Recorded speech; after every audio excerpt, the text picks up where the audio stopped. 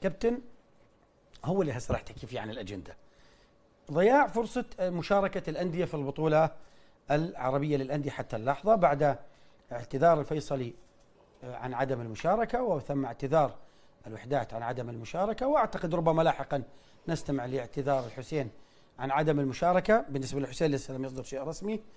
وممكن حتى اللي بعده إذا تم عرض الموضوع شباب الأردن ما بعرف شباب الأردن شو رأيه. شباب الأردن آه آه ممكن ممكن نعم. عندهم عندهم. يعني ممكن يكون اجهز ولكن من هو المسؤول عن ضياع مشاركة الأندية الأردنية في البطولة العربية و آه، البطولات العربية؟ إحنا بنعرف نكهتها ولذتها. وهل الأندية هي اللي بتتحمل المسؤولية أم الأجندة؟ وين وين الخلل كابتن خالد؟ يعني إحنا بنقول ضياع لما آه، الأندية كلها تعتذر. لكن لسه في في أمل إنه يكون مشاركة أردنية في البطولة العربية. آه، أول شيء الخلل الرئيسي واللي دائما بنحكي فيه إنه ما فيش منافسات الآن محلية. تغيير الأجندة خلى اللاعبين نايمين في بيوتهم. فيش فريق جاهز متجمع. السبب الثاني وهو خطأ الاتحاد العربي. إنه فجأة بيجي يقول بدنا نعمل بطولة عربية. يعني لو بتيجي على على أي فريق آه، بدك تجمعه فريق شعبي صعب يتجمع ويروح آه، يتدرب خمس ست تدريبات ويروح على البطولة العربية. فإعلان موعد البطولة ما كان آه، مناسب واجى بشكل فجائي وفاجأ تقريبا الأندية الأردنية. يمكن الأندية الأخرى والبطولات شغالة يعني ممكن تتناسب معهم لكن بالنسبة لنا في الأردن ما أعتقد إنه آه، بتتناسب مع الأندية الأردنية. وهذا يمكن بيقودنا لشيء بيتعلق بقرار اتحاد كرة القدم بمنع الازدواجية. أنا يعني أنا رأيي بشوف إنه هذا القرار غلط. هذا ما ما بخدم الأندية ولا بخدم الكرة الأردنية ولا بخدم الفريق المجتهد. لازم مع الازدواجية كابتن أنا مع أنا مع الازدواجية. مع الفريق اللي بيحصل على بطولات محلية هو اللي يقرر. هو صاحب القرار إنه يشارك آه، في بطولة آسيوية وشارك في بطولة عربية. هو هو اجتهد في البطولات المحلية حقه إنه يروح. هو هو الأدرى بالاعتذار عن البطولة أو المشاركة في البطولة أو المشاركة في بطولتين. هو أقدر على تقييم وضعه. فبالتالي كان لازم الاتحاد ما يتخذ قرار بمنع الازدواجية ويترك القرار للنادي وللأندية. هذا بالعكس هذا بيخلق فرصة تنافس أقوى بين الأندية على الألقاب المحلية حتى إنه تتيح له المشاركه في أكثر من بطولة خارجية. لكن الآن زي ما تفضلت أنت بتحكي عن البطولة العربية ما أعتقد في فريق أردني الآن جاهز لهي المشاركة إلا إذا أنت بدك تروح يعني تشارك لأهداف بعيدة عن المنافسة على الألقاب استعداد لتحضير عندك لاعبين شباب بدك آه، آه، تخليهم يخوضوا تجربة عربية. فعشان هيك شفنا الفيصل اعتذر عن البطولة والوحدات اعتذر عن البطولة رغم الذكريات يعني الحلوة للأندية العربية في أكثر صحيح. من بطولة آخرها عربية. في بطولة مصر. وآخرها 2017 الفيصلي في البطولة العربية. طيب كابتن البطولات العربية. و... و... اخرتها آخرتها يعني وين مع هالبطولات العربية؟ مع طريقة التنظيم؟ مع المفاجآت اللي بت بنسمعها بموعد البطولات مع المزاجية والكيفية والطريقة. يعني بتشوف ثلاث أندية من بلد وناديين من بلد ونادي بيلعب دور أول ونادي بيلعب ثاني بحجة التصنيف الدولي والمستوى وكذا.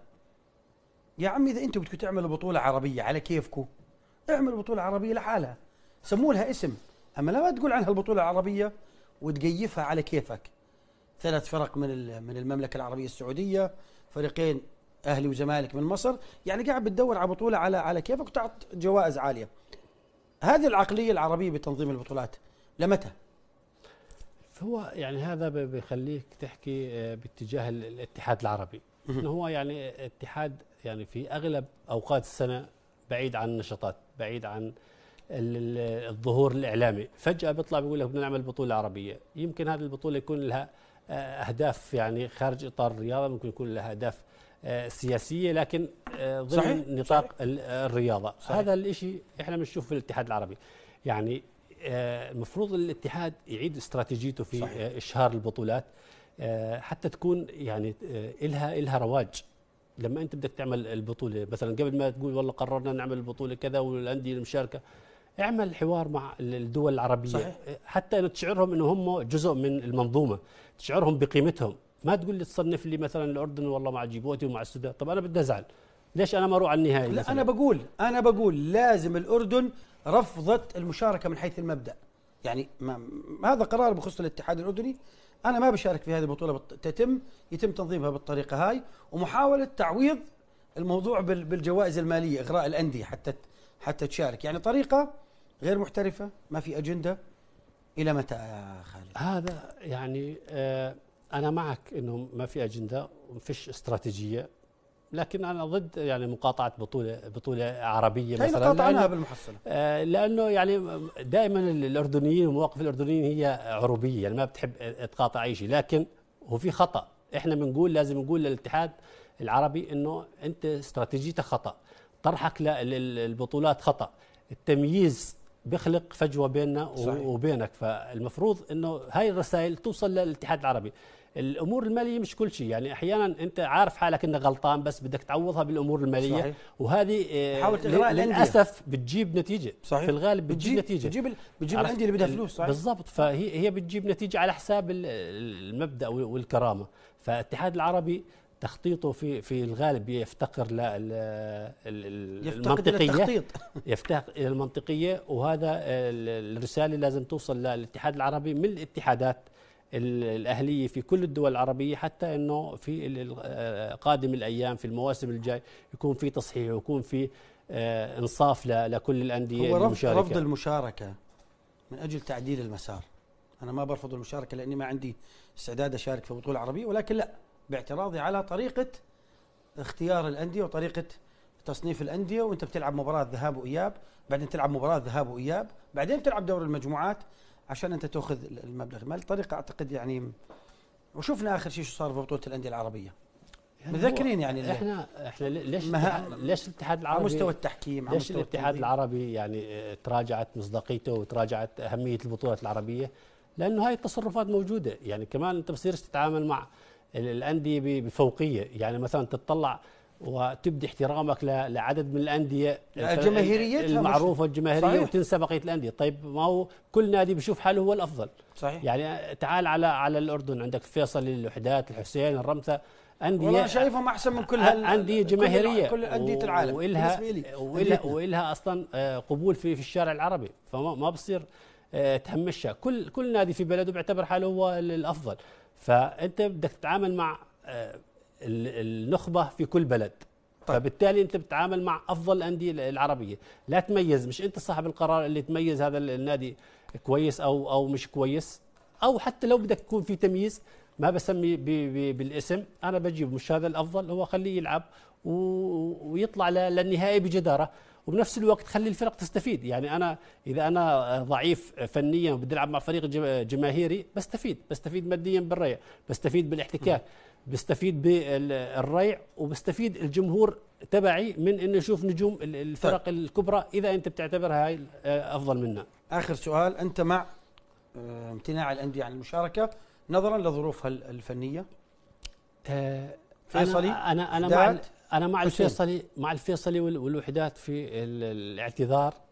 لأنه يعني هم بيشوفوا ال- البطولات الأسيوية أكثر ترتيب أكثر دقة أكثر فائدة أكثر جماهيرية أكثر آه، رواج إعلامي. الآن بنرجع للخيار الثالث الحسين أربد. الحسين أربد الآن هو عنده طموح يكون آه، في البطولة الأسيوية في كأس الاتحاد الأسيوي. لكن وجوده بكأس الاتحاد الأسيوي حسب معلوماتي يعني ما بعرف إذا أنت بتأيدني فيها. إنه إذا الوحدات راح للمجموعات. صحيح. الحسين بيشارك في كاس الاتحاد الاسيوي إذا ما راح إذا الوحدات طلع من دور المجموعات راح يرجع لكاس الاتحاد الاسيوي فبالتالي الحسين ما راح يكون له فرصة في المشاركة في آه، يعني أنت البطولة بدك الاسيويه الحسين يشارك في البطولة العربية؟ أنا يعني شايف قدامه فرصة أنت؟ هي- بدها دراسة. الآن مم. بدها دراسة. الآن أنت آه، قادر إنه في في فترة وجيزة تجيب مدرب وتجمع اللاعبين وتدربهم هذا جانب. أنا آه، بسألك أنت شايفه قادر بلحق؟ الحسين هم اللي اللي أقدر. أنا أنا بقدرش أشوف آه يعني يعني أنت قصدك ال- آه من ناحية الفرصة؟ من, ناحية الفرصة ال- هو ممكن يكون ال- النادي مثلا متفق مع مدرب ممكن. يكون متفق مع آه، مجموعة من اللاعبين غير معلنة.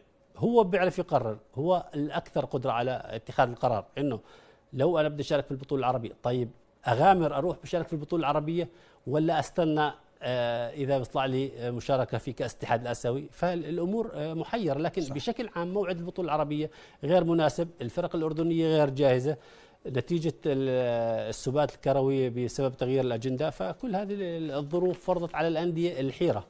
أنا يعني بقول ليش الآن الأندية في حيرة من أمرها. تشارك عربيا ولا تستنى الآسيوي الموسم راح يبلش بشهر خمسة نعمل تعاقدات.